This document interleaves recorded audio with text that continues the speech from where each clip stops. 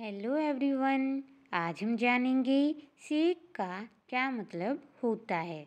सेक का मतलब होता है कारण, खातिर, लिए, लिहाज, प्रयोजन, हेतु और भला। आइए इसे उदाहरण के माध्यम से और अच्छे से समझते हैं। For god sake please tell me the truth भगवान के लिए कृपया मुझे सच बताएँ। अब आप मुझे बताइए मौसम को इंग्लिश में क्या कहते हैं? और वीडियो पसंद आए तो वीडियो को लाइक और चैनल को सब्सक्राइब करना ना भूलें। आज की वीडियो में बस इतना ही। धन्यवाद।